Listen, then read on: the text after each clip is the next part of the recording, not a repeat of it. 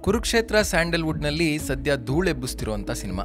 ಮಹಾಭಾರತದ ಕಥೆಯನ್ನು ಸಿನಿಮಾ ಮೂಲಕ ತೆರೆ ಮೇಲೆ ತಂದು ಇಂದಿನ ಯುವ ಪೀಳಿಗೆಯ ಮುಂದಿಟ್ಟಿರುವಂಥ ನಿರ್ಮಾಪಕ ಮುನಿರತ್ನ ಪ್ರಯತ್ನಕ್ಕೆ ಅಭಿಮಾನಿಗಳು ತಲೆಬಾಗಿದ್ದಾರೆ. ಕನ್ನಡ ಮಾತ್ರ ಅಲ್ಲದೆ ತೆಲುಗು, ತಮಿಳು ಹಾಗೂ ಮಲಯಾಳಂನಲ್ಲೂ ಕೂಡ ಇದು ತೆರೆಗೆ ಬಂದಿದೆ.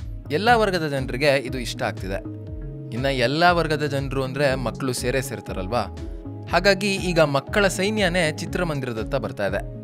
ಇತ್ತೀಚಿನ ವರ್ಷಗಳಲ್ಲಿ ಪೌರಾಣಿಕ ಸಿನಿಮಾಗಳನ್ನ ಮಾಡೋದು ಅಪರೂಪ.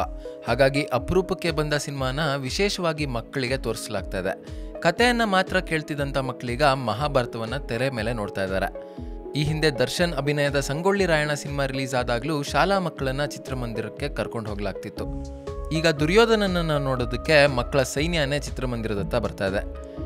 ಇನ್ನ ಮೊನ್ನೆ ಮೊನ್ನೆ ಅಷ್ಟೇ ನಿರ್ಮಾಪಕ ಮುನಿರತ್ನ ಅವರು ಮಕ್ಕಳಿಗೆ ತೋರಿಸೋದಕ್ಕೆ ಟ್ಯಾಕ್ಸ್ ಫ್ರೀ ನೀಡಿ ಅಂತ ಸಿಎಂ ಬಳಿ ಮನವಿ ಮಾಡ್ಕೊಂಡಿದ್ರು.